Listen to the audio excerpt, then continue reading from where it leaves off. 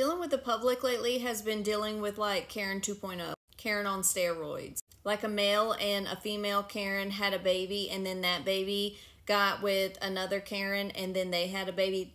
That spawn has been what dealing with the public has been like lately. I don't know what is up everybody's butt, but I have several examples, but one of them off the top of my head was a guest that came in at 4:30. I had to finally ask them to leave at 11:30 p.m. so I could close the restaurant down.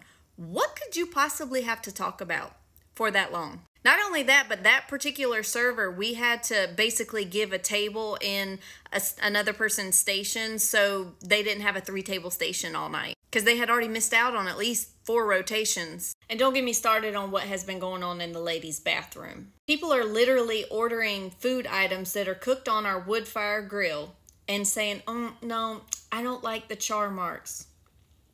What do you think Hickory Grill means? Genius? People are just like making up menu items. I'm like, have the chef whip it up.